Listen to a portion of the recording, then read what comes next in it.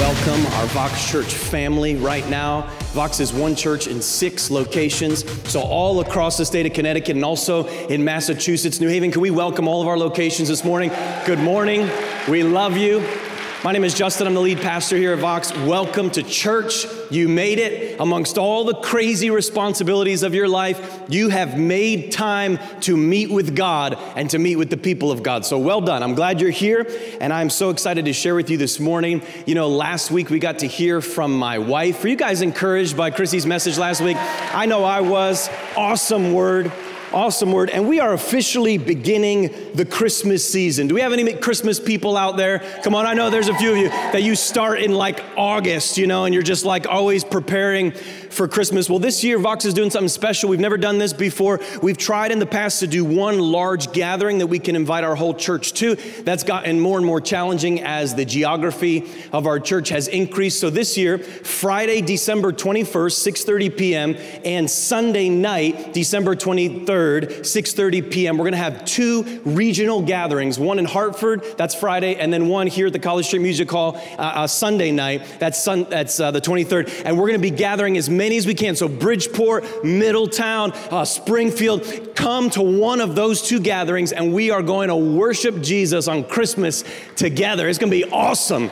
It's going to be awesome. The theme of our service this time is majesty, and we'll have all of our normal Sunday morning gatherings that Sunday, the 23rd, but we want to do some special evening Christmas celebration. So, mark your calendar, be a part of, uh, of that incredible time. It is going to be awesome. Our team has been prepping for that for a long time now, and uh, it's going to be great. This is also a sacred time in the calendar of our church. And so, if you're new to Vox, maybe you're kind of new to this, but for the next four weeks, we'll start a teaching series called Reach. Turn to your neighbor and say, you got to reach. Come on, you've got to reach. And we culminate this series on December 9th, where we'll receive our end of year offering. And this is the time of year that as a church, we ask you really to bring your best gift to the house of God, all right? So this is your opportunity to dig deeper financially and say, you know what, I'm gonna invest in what's gonna happen beyond 2018, 2019, and 2020. And so over the next four weeks, we're gonna be outlining some of the things that we'll be taking on,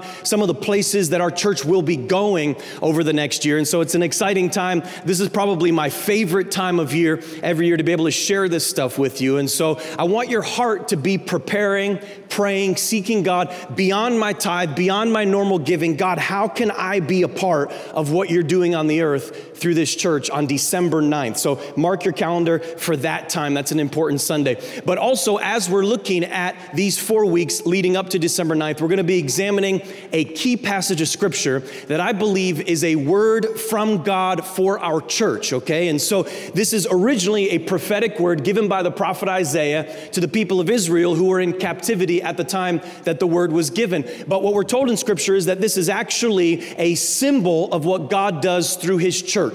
And over the last nine months, it's been this passage of scripture that our leaders, our elders, actually, it's probably happened four or five times where someone has come to me and said, You know, I've been praying for the church, I've been praying for you, and this passage of scripture has been on my mind, you know? And by like the third time, I'm thinking to myself, there's something to this. You know, God has something to say to us through this verse. So we decided to use the last four weeks of this series to, um, to really focus in on these five verses in the 54th chapter of Isaiah. So I'll read them all to you today. And uh, this morning, we're really just going to focus on verse one, but follow along with me. Isaiah 54, starting in verse one Sing, O barren one who did not bear, break forth into singing and cry aloud, you who have not been in labor. For the children of the desolate one will be more than the children of her who is married, says the Lord. Remember, this is a prophetic word. Enlarge the place of your tent. Let the curtains of your habitations be stretched out. Do not hold back. Lengthen your cords and strengthen your stakes, for you will spread abroad to the right and to the left, your offspring will possess the nations and will people the desolate cities. Fear not for you will not be ashamed. Be not confounded, for you will not be disgraced. For you will forget the shame of your youth. Somebody say, Thank God, right? You will forget the shame of your youth, the reproach of your widowhood. You will remember no more. For your Maker is your husband. The Lord of hosts is his name. The Holy One of Israel is your Redeemer. The God of the whole earth He is called. Now, as we take this next four weeks in this series called Reach, I want to begin with a sermon. And the title, if you want to jot it down today, is Your Song is a Seed. Your song is a seed. Every location, your song is a seed. Would you pray with me? This morning. God in heaven, I thank you for this church. I thank you for the privilege of being able to share this morning. And I thank you for the presence of your Holy Spirit. God, would you empower me by your Spirit to take the word that you've written on my heart and by your power write it on every single open heart today.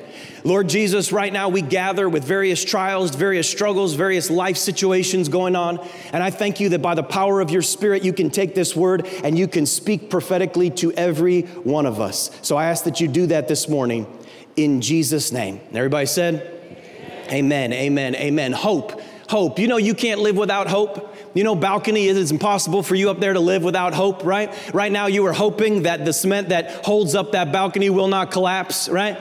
We all are living every moment with a necessity for hope. What is hope? There's many different definitions, different ways people have described hope, but hope is a growing expectation that good is on its way. Hope is a belief that things will get better. Researchers, medical professionals for generations have been studying the incredible, profound implications of a person who has hope. One study you may have heard of, 1957, famous study. Uh, Dr. Curt Richter, he uh, did a study using rats to try to understand hope in every type of situation. And so he takes a bunch of rats, and if you have a affection towards rats, this is a bit of an offensive study. But what he would do is he would take buckets of water and he would take a rat and drop it in the bucket of water and start a timer and, and wait to see how long it took that rat to drown, okay? And so the average drowning time of the rat was 15 minutes. I know it's kind of barbaric, but that's what he would do 15 minutes, 15 minutes, and again and again and again,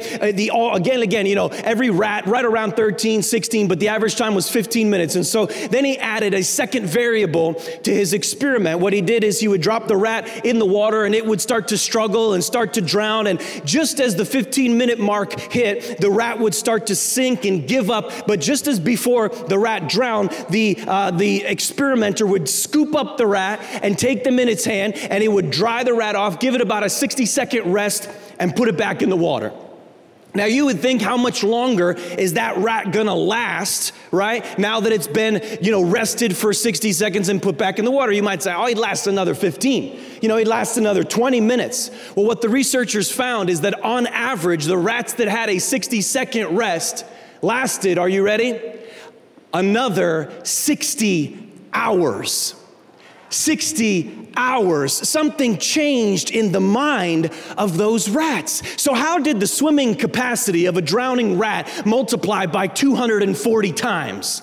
The only explanation that the researchers could come up with is hope that these researchers gave those rats a reason to keep swimming. They gave them hope that some hand would swoop down and scoop them out of that water again and they could survive. And hope somehow transformed those rats into elite swimmers.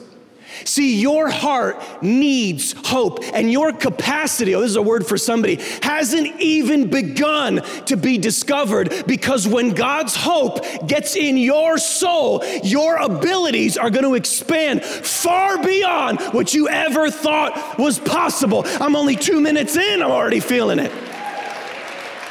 God wants to do something in your heart today. He wants to unleash a supernatural hope on the inside of you that enables you to do what you didn't even think was possible. In Isaiah chapter 54, we are introduced to a woman who is struggling with infertility, all right?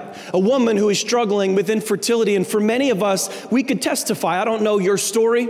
But I know that there are many, many, many people right now at Vox Church that you could testify that this is one of the most challenging situations a woman or a couple could ever face. That infertility cuts to the core of who we are, that longing for a child and that inability to conceive. It is a burden unlike any other. And I know that there are many in the room that would say that is true. I've gone through that. My family's gone through that. It is so difficult. Now, in Old Testament times, the woman who had many children, was a national hero. See, in those days, large families meant large harvest. Large harvest meant large income. Large income meant strong nation. And so they were a national hero if you had many kids. But the woman who was barren, she was a national disgrace. And she was often blamed for her barrenness. It wasn't right, it wasn't godly, but it was what often happened in those days. And so if you were not able to have kids, it literally meant that your family line ended. It meant that the inheritance that was passed on from generation to generation was lost. It meant that you were most likely going to end up in poverty. And it even meant for some women that you would die of starvation because as you got older and could not work, there was no one to take care of you. And so the shame and the weight of barrenness was often unbearable. Now, Isaiah introduces this imagery as a symbol. It's a symbol of anyone who is hopeless. And so it goes beyond just physical barrenness. He's talking about issues of the heart. And the prophet addresses this woman, if you noticed, three different times. He says, Sing, O barren woman, sing the one who has not born, sing the one who did not bear, sing the one. And he keeps talking to her. And it's strange as you read this verse because you think to yourself, why is he consistently bringing up her barrenness, right? It seems almost callous, like, why are you drawing attention to her struggle, Isaiah? But he's trying to show us, church, that there is in hopelessness a progress. That hopelessness is by nature progressive, all right? It's not an on and off switch. Hopelessness happens in stages over time in our lives. And so, what we see here is what we'll call a spectrum of hopelessness. And I want to show it to you today. You can put it up on the screen. The spectrum of hopelessness. So he begins at the end, right? In the end, he says, You who have not been in labor, all right? You have not been in labor. Now, this is the time in your life where something you want to happen is not happening, okay? And so this applies to various different issues and struggles in our life. You know, why have I not found the career that I love? You know, why have I not, you know, obtained the success that I thought I was going to obtain? Why have I not found the relationship that really satisfies me in this life? Why have I not had that big break in my business that I've been pushing for? And so when you're in this stage of the spectrum,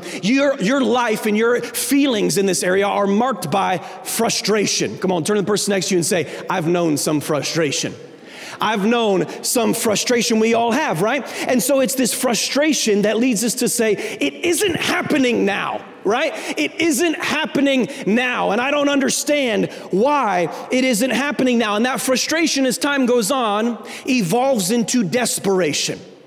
Desperation. That's why he calls her, you who did not bear, right? Did not bear, like the season is passing.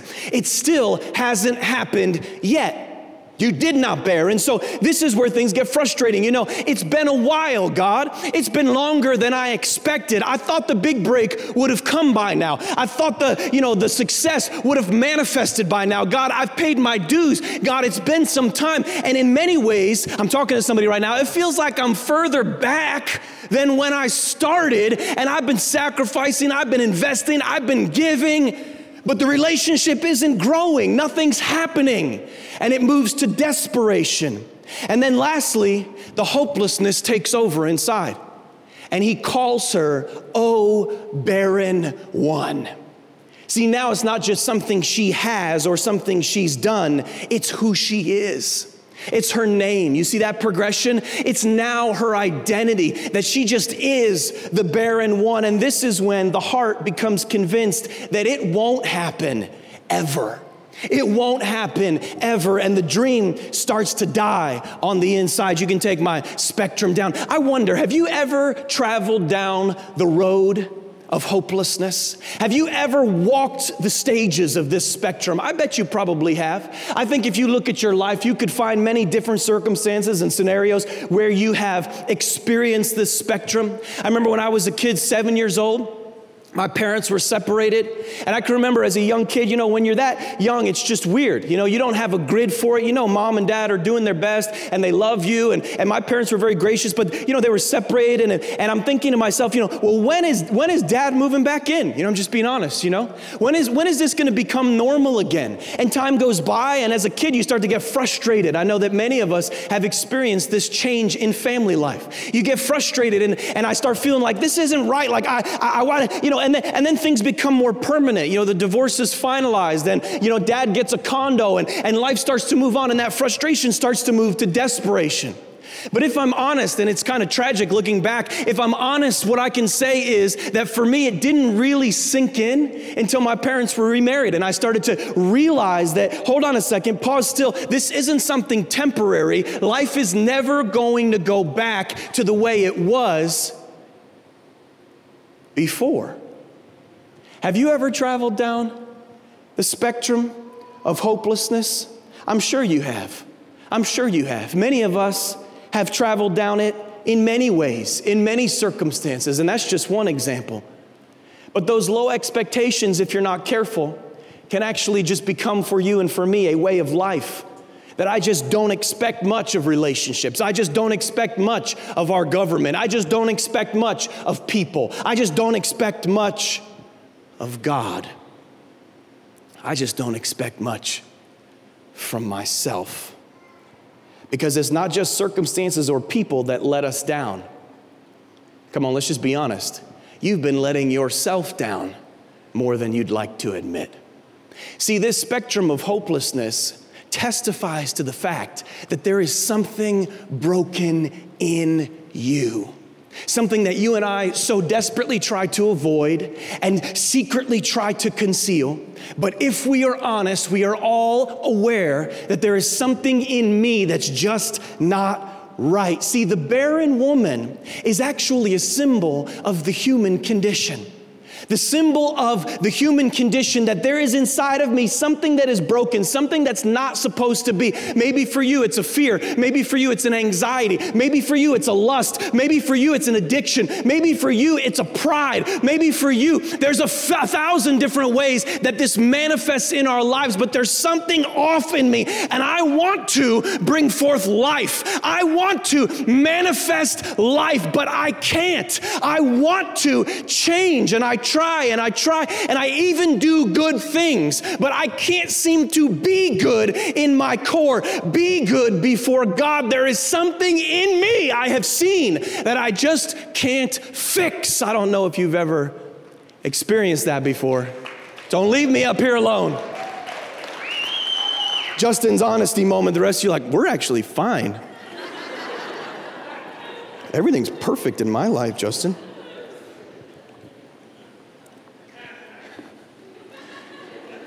Some of you, it's lying. That's your biggest problem. Huh.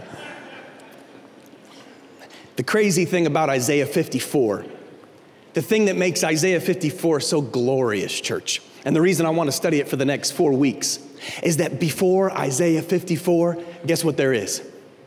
Isaiah 50 yeah, this wasn't a trick question. 53. Yeah, you're like, I don't know, man. What is it? 53. 53 comes before. Yeah, I, before Isaiah 54, there is Isaiah 53. And if you're familiar at all, with Isaiah 53, what you know is Isaiah 53 is a prophetic promise from Isaiah 600 years before Jesus ever walked the earth that specifically outlines the plan of a coming Savior and what he will do to wash people of their shame. So look at with me a portion of Isaiah 53. It says this Surely he took our pain and bore our suffering, speaking of a coming Savior, Jesus. Yet we considered him punished by God God, stricken by him and afflicted. He was pierced for our transgressions, written before crucifixion was invented. He was crushed for our iniquities. The punishment that brought us peace was on him, and by his wounds we are healed. We all, we all, we all, like sheep, have gone astray. Each of us has turned his own way, but the Lord has laid on him the iniquity of us all. The Lord has laid on him the iniquity of of us all. And then, as Isaiah 53 finishes in this glorious display of what the Savior will do, then you read Isaiah 54. Look at it with me again. Sing, O barren woman who did not bear, break forth in singing and cry aloud. You who have not been in labor, for the children of the desolate one will be more than her who is married, says the Lord. See, God interrupts our mourning, God interrupts our brokenness, God interrupts your hopelessness with a promise. Oh, you need your, your heart needs that today. Come on, turn to somebody around you and say, I've got a promise. I've got a promise. We got to get you talking today. I've got a promise. He interrupts. Oh, somebody today came in hopeless. Somebody today came in on that spectrum of hopelessness, and you frustration, it's moved to desperation, and your desperation is teetering on that concept that says it won't ever happen. And that's beginning to sink in on your soul. I don't know in which area and which way, but I know that for many of us, that's been your story. And God wants to get your attention today. He, want he wants to interrupt your mourning, He wants to interrupt your frustration, He wants to interrupt your desperation with a promise from heaven a promise. And what is the promise that is given to this barren one? Oh, I love it. The promise, church, is new birth. The promise is new birth. See, this is describing the church. It is a prophecy that was written to Israel many years ago, but it's quoted in Galatians chapter 4 in the New Testament by the Apostle Paul as a prophetic word for the people of God. See, God is describing his plan for humanity, that his plan is for Christ to come and for Christ to die in my place and for Christ to wash me of my shame and then for Christ to rise from the grave and to send forth his Holy Spirit Spirit, and that His Holy Spirit would take up habitation in my heart by faith. And through that Spirit, He would transform my barrenness into fruitfulness. That is God's word for you today, that He has come to transform your barrenness into fruitfulness in Jesus' name. And because, oh, you got to see this today. I wish I could just preach on this, but we have to preach the whole text. But because Christ's Spirit is now in the believer, don't miss this. Behold the glorious truths of sound theology. Because Christ's Spirit is in the believer, Christ's position is imputed to the believer. Let me explain it. In Second Corinthians chapter 1, the apostle Paul says it like this. He says, "For the Son of God, Jesus Christ, who is preached among you by us, was not yes and no, but in him it has always been, what's the next word? It has always been yes. For no matter how many promises God has made, He's made over 7,800, by the way. For as many promises God has made, they are yes in Christ. They are yes in Christ. In other words, Christ lived the perfect life that you and I could not. Christ died a substitutionary death so that He could wash me of my sins. Christ rose from the grave and put His Spirit in my heart so that now when the Father sees me, He sees Christ. And every promise in the scripture now is seen through the lens of Christ in me and His answer to me me is yes. So God fulfills every promise for me because he sees Christ in me and he answers yes. And so there are promises of provision. Oh, you got to find some of those. There are promises of protection in the Bible. There are promises of peace. There are promises of favor, but the greatest promise is the one that will help you most sleep at night the promise of eternal life eternal life. And when these promises start to get on the inside of you, something starts to change. But if you're like me, you have noticed a gap. You have noticed a gap between the fullness of God's promise and the reality of my circumstance. You have noticed a gap between what God has said is mine and what I have experienced as mine. Come on, can anybody testify to that? You've noticed a gap, and you say, you know, there's this chasm between what God says, by his stripes I am healed, and what I experience. I'm still battling with this thing.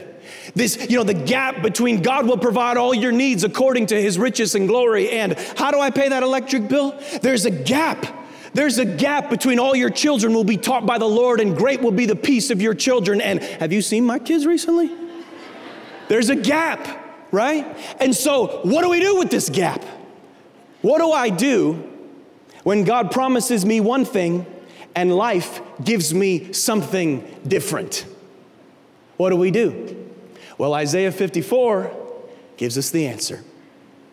He says, In those moments, O barren one, you should sing. You should sing. You should sing. Come on, tell somebody around you, you should hear me sing. Come on, tell them. Scientists tell us that singing is a natural antidepressant, that no matter how terrible you sound, it will do something in your biology. Singing releases oxygen in the brain, which boosts the immune system and reduces stress. But singing also carries a mysterious power, a mysterious power to wake us up on the inside. I read a story recently about a seven year old girl who had a hemorrhage in her brain. She's in a coma. The doctors tried to do everything they possibly could to help her. And they got to a point where they realized there's just nothing else we can do. They called the parents inside the room and they said, Listen, we've tried everything with your daughter and we are convinced that she's not going to make it much longer. So you should take your time to say your goodbyes right now. But mom had a different idea.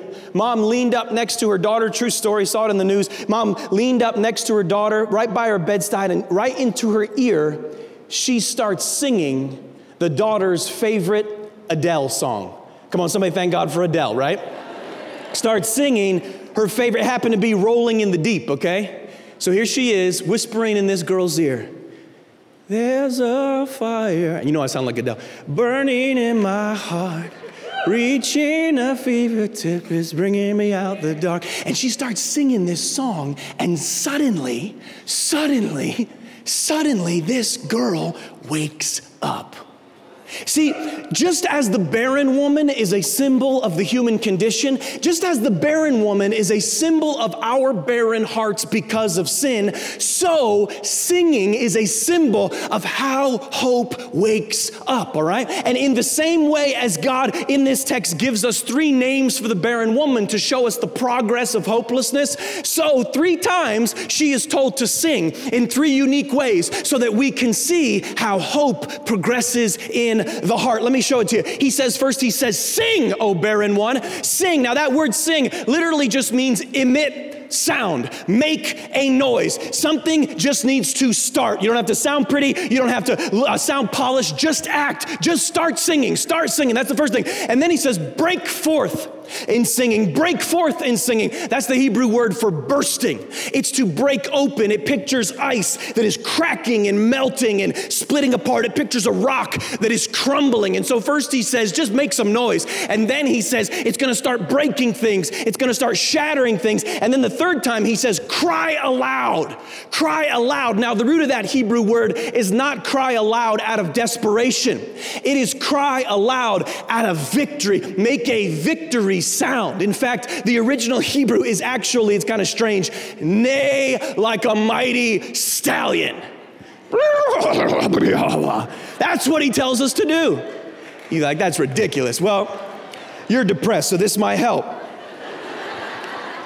make the sound of a war horse, bellow. And so, what he wants us to see is a spectrum of hope. Go ahead and put it up on the screen for me so you can see it. A spectrum of hope. See, hope begins in our hearts with an action, right? I step out on the promise. That's where hope starts, right? An act of faith. Okay, that is so critical. We'll come back to that second. But then from there, God begins a work of reconstruction. That is the break, right? The ice starts to crack, the boulder starts to crumble, something starts to change in my heart. He breaks up this thing in me, my heart is changing. And then from there, action reconstruction leads to this divine confidence, this assurance, right? This confidence that says, I know God is with me, and though I may not see it, I know He is faithful, and though it hasn't happened yet, I know He won't leave me. I am victorious. And so hope starts to grow inside of me as I go through this process. But before there's assurance, before there's reconstruction in the heart, there must be this act of faith. You notice the woman is told, sing before you conceive. Sing before. Now, how awkward is that, right? Sing before you conceive. Notice the tension. It's like, mm, I'm still barren. No, no, no. Start singing how happy you are. Uh, I'm actually not happy. No, no, no. Start singing now. Sing before you conceive. Maybe you remember the story of the 10 people who had leprosy in Luke chapter 17. They come to Jesus and they say, Oh Lord, would you heal us? And he doesn't touch them, he doesn't pray for them. He just looks at them and he says, Go and show yourselves to the priests as men who have been healed. And in that moment, I could imagine it was mildly awkward because they're standing there, 10 people dying of leprosy. They look at Jesus. He says, Go show yourself to the priest as one who has been healed. And they're looking at themselves and going, But we're not healed, Jesus. Like, this doesn't make a whole lot of sense. You're telling us to go and show ourselves to the priest as if we were healed, but we haven't been healed. He says, Go. And the scripture gives us an incredible, incredible mystery. It says, As they went, they were healed. As they went, they were healed. See, their going was an act of faith. Maybe you remember the story of Joshua as he brings the people of God into the promised land. And what we're told is they get to the banks of the Jordan River and it's in flood stage and they cannot cross into Jericho. And so they don't know what to do. And the Lord says, I'm going to part the sea for you, just as I did the Red Sea. And Joshua says, That's great, God. Any time would be fine. And he says, How about right now? And, and Joshua says, Well, yeah, right now it would be good, but you haven't done it yet. And, and, and God says to Joshua, Oh, the problem is you've got to actually step into the torrential flooding water before it parts. Just step into it, Joshua, and then I'll do it. Your act of faith is going to do something. And so that's what he does. He steps into the water, and as soon as the priests enter the water, the waters part. See, God gives you a promise, and he's given you over 7,000 of them. He's given you promises, and he qualifies you by God's grace through Christ to receive the promise. But your act of faith sets the promise in motion. You might want to jot that thought down today. Your act of faith. Oh, I pray God gets this in our spirit today. Your act of faith sets the promise in motion. In other words, your song is a seed. Your song is a seed. You've got to plant the seed if you're ever going to have a harvest. See, some of us, if we're honest, we're looking for God's blessings, but we haven't planted any seeds. See, you've got to trust Him first. You've got to act on that trust first. Your act of faith sets the promise in motion. And for many of us, you're here and you're struggling with this or you're struggling with that. You've got this problem or that problem. You're wondering why God hasn't intervened. And what God would say to you today is what seeds of faith are you planting in your actions that will release the promise in your life? Sing, O barren one, before you conceive. You know, for 16 years now, my wife and I have paid our tithe before we paid our mortgage.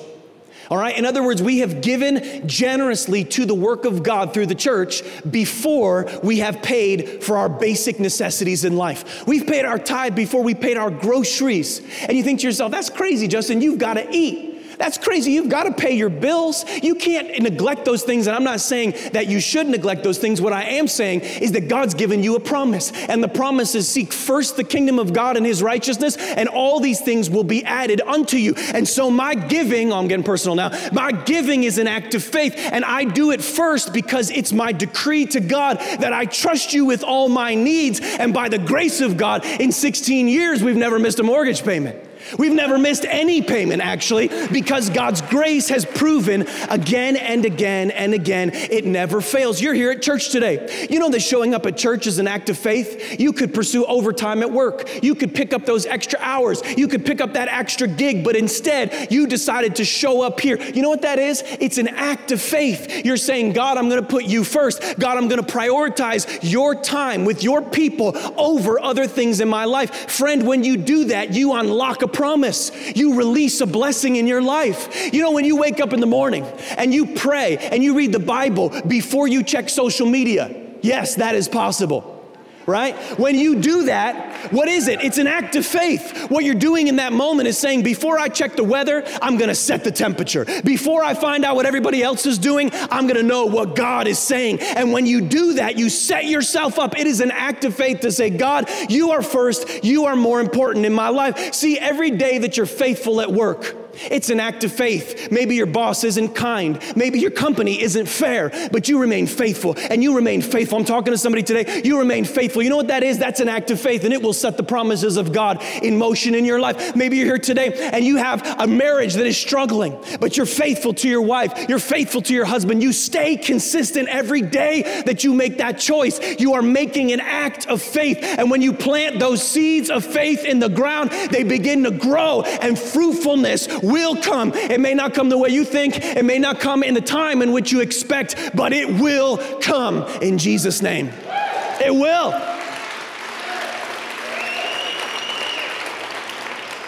I was thinking about it like this when I was a kid. I would go camping. And one of my favorite things to go camping, it's kind of strange, but was to take a hot shower at the end of the day. Because all day long you're fishing, all day long you're running in the dirt and running in the mud, and it's disgusting. And at the end of the day, you take a hot shower. My dad would give me quarters, you know?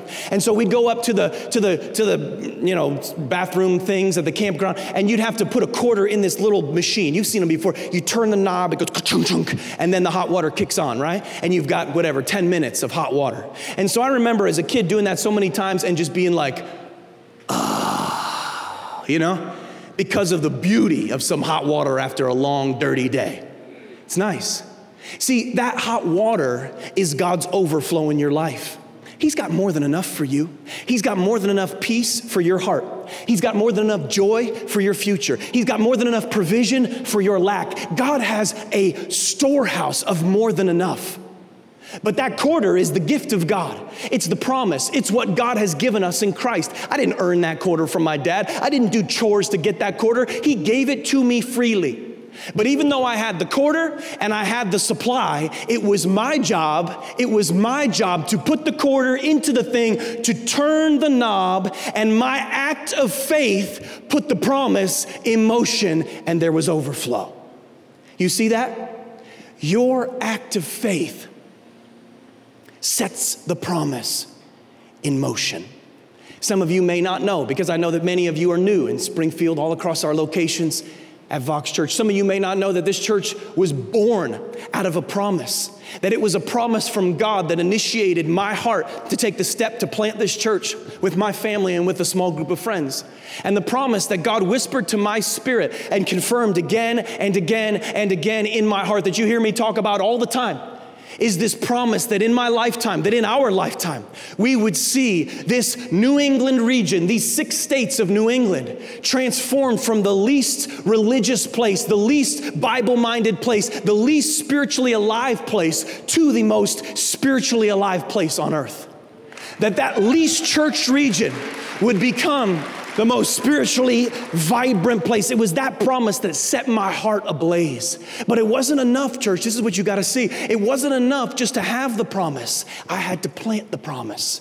I had to act. Your song is a seed. I had to start singing before I conceived. We have to act in faith. And so, over seven years' time, this church has grown through acts of faith. See, every time you serve, every time you give, every time you sacrifice, every time we plant a new location, you know, other pastors will ask us, they say, Oh, so you must plant a new location because you have hundreds of people traveling from Springfield, Massachusetts down to your Hartford location, and it just is required that you plant another church there, right? And our attitude's been like, Well, no. Truthfully, oftentimes we have like five people from a location, but we sense that God wants us to reach the city. And so we step out and we spend $190,000 to buy all the equipment and all the preparation and rent the facilities. And we step out in faith and we plant this church. And when we do, we don't know if five people are gonna show up or if 500 people are gonna show up. But what we have found again and again and again and again, six times now, is that our act of faith puts the promise in motion. See, if you wait, for God to fill the room before you step out, the room's gonna stay empty forever. But if you step out in faith, there is no telling what God can do. And in this end of year season, end of 2018, I just wanna be really candid with you, church, that my heart has been so stirred, so stirred to reach God's people that don't even know they're God's people yet. I hear this call on the inside go further, go further, go further. And if I close my eyes, I can actually see the people in my mind. Would you do this with me? Take a moment, just close your eyes. Close your eyes because in my heart, I can see the single mom who doesn't yet know Jesus. She works at your store, she lives in your neighborhood. And it's just a simple invitation to Christmas. It's just a simple invitation to a Sunday service. And her entire trajectory of life is changed forever because eternal life became a part of the equation. Close your eyes, close your eyes, keep them closed just for a second. I can see in my soul a 21 year old kid in Worcester, Massachusetts.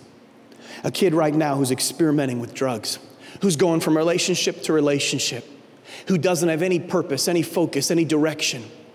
But it's gonna be a church that gets planted in that city that brings a person to his neighborhood, a person to his doorstep that tells him about grace. And that 21 year old kid meets Jesus and his life is transformed. The addiction is broken. He marries a wonderful girl. They have kids, and their entire family tree is transformed because your act of faith set the promise in motion. You can open your eyes. How do we reach this region? How do we reach your friends? How do we stretch to see people's hearts and lives changed? It's going to take an act of faith. For the next four weeks, we're going to be talking about stretching. We're going to be talking about going further. And I want you right now to prepare your heart. I don't want to pull any punches. I want you right now to prepare your heart for December 9th. On December 9th, we're going to receive an offering at the end of the service. And we're going to give to start new churches. We're going to give to solidify some of the locations that we have so that we can reach more people. I'm going to be sharing more about that in the next couple of weeks. But as we do, I can know this for sure that we're going to go as far as the seeds we plant will take us. That's it.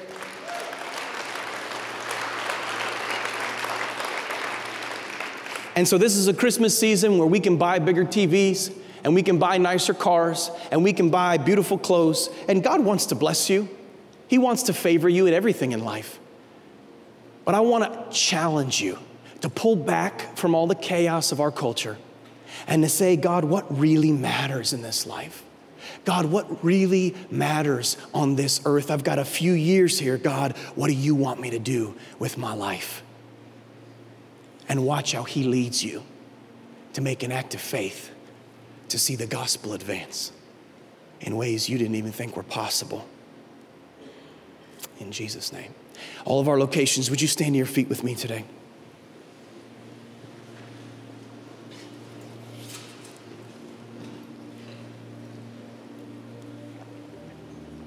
I want to ask you a question this morning. Every person here, where is God calling you to act in faith?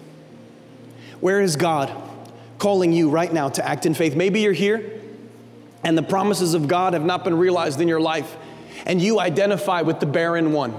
Maybe as I describe that spectrum of hopelessness, you know it all too well. Your frustration has moved to desperation. Your desperation has created in you a practical hopelessness that just accepts things as they are. I believe that today is your day by the power of the Holy Spirit to be set free from that cycle. I believe that today is your day for that cycle to be broken in your heart.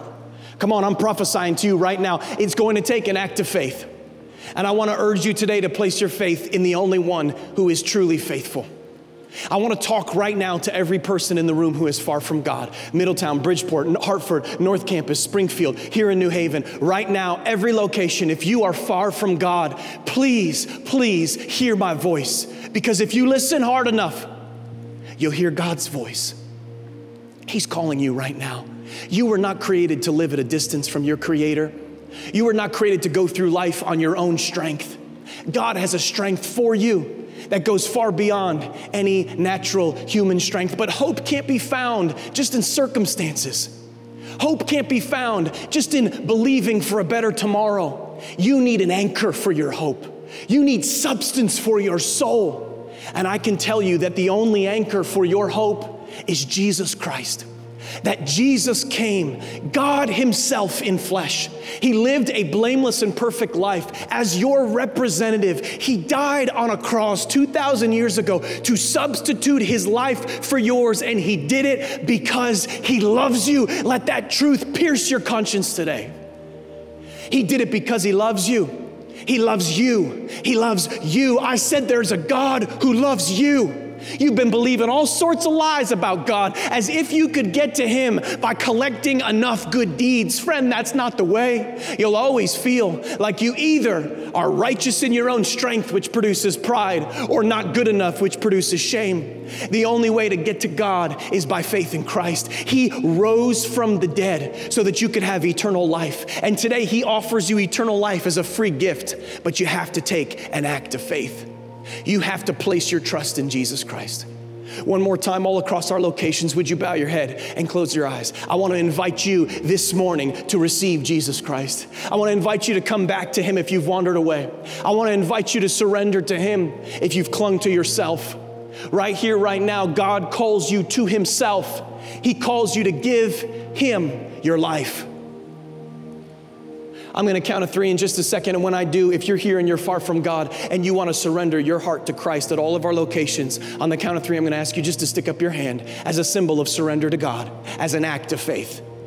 Right here, right now, God knows your story. He calls your name. Maybe you came with a friend. Maybe you came with a relative. You didn't expect to be confronted with your relationship with God, and yet here you are, and He knocks on the door of your heart, and you can hear Him knocking. Don't ignore His voice. Come, Holy Spirit. Whisper to the inner self. Speak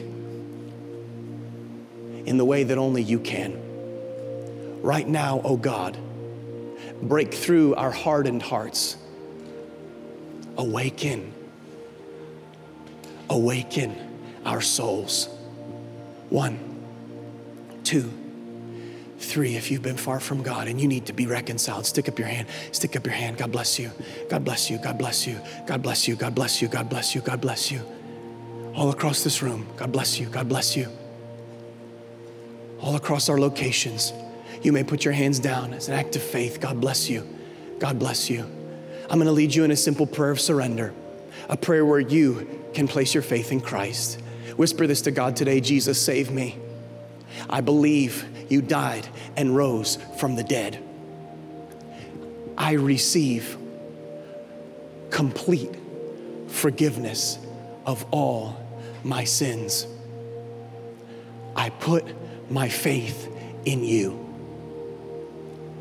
Wash me, fill me now. In Jesus' name.